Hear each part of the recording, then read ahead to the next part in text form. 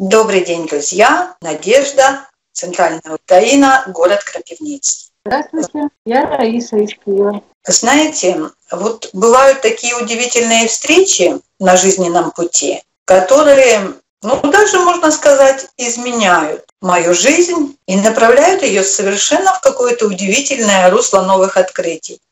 Вот такая встреча произошла в моей жизни с Дилярой.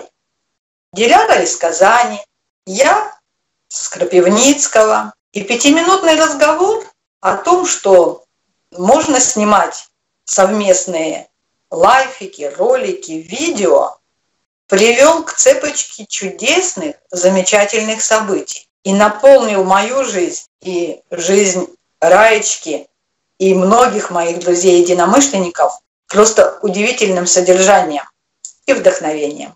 Да, познакомившись с Дилярой и приняв участие в ее челленджах, мы решили с Надей попробовать тоже э, сделать челлендж вдвоем. Ну, стало несколько вопросов. Как это сделать? Мы этого никогда не делали. Ну, как всегда, все новое, появляются новые трудности. И вот сняли мы наш совместный диалог челлендж, снимали его несколько раз, что-то он у нас не получался, в результате он получился длинным, мы его хотели выбрать, потому что он не получается и не получается. Но что-то нас удержало, и мы все-таки настойчиво решили что-то с ним сделать. Ну и я приняла решение научиться самой монтировать. И благо, как только принял решение, всегда появляются факторы, которые тебе помогают. Пространство слышит твои запросы и помогает тебе во всем, особенно если это действительно какое-то хорошее дело и для пользы тебя, и для пользы других. Вот меня получила монтажу моя дочь. Ну, такое тоже. Оказалось, что мы какое-то время были несколько дней вместе, хотя она живет отдельно. И вот она провела мастер-класс со мной, даже создала мне целую инструкцию пошаговую, как работать с премьерой. И вот началась работа. Ну, подробности не буду описывать, но две недели я э, делала это видео. И дочке отсылала. Она мне помогала. Оно куда-то таинственным образом исчезало. То потом какой-то появлялся вирус. В общем, на каждом шагу была куча препятствий. Руки опускались, и вот э, пришлось учиться просить, э, учиться терпению, ожидать, пока тебе помогут. Но в результате все-таки удалось смонтировать этот ролик. Ну, что я заметила, или к чему я пришла в результате этого всего? Пришла к тому, что я получила удовольствие и радость от работы. От работы с новым.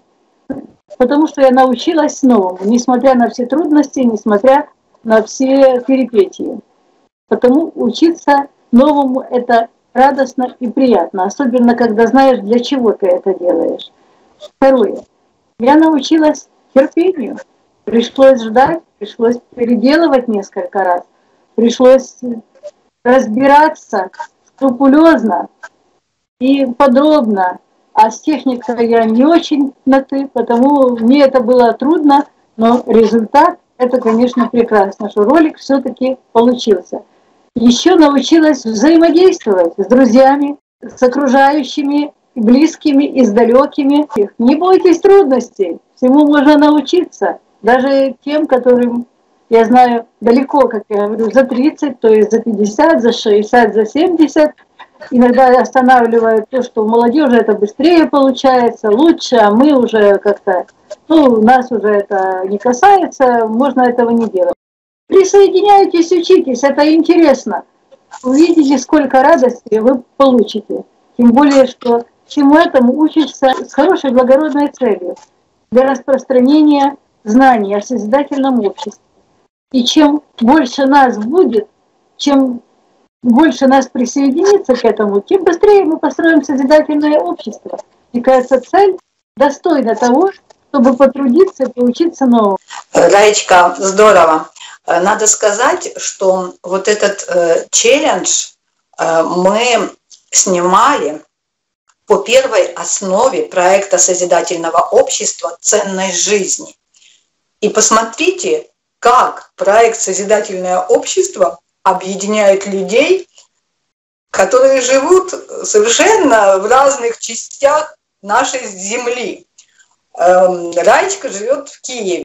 Я живу в центральной Украине. Диляра живет в Казани.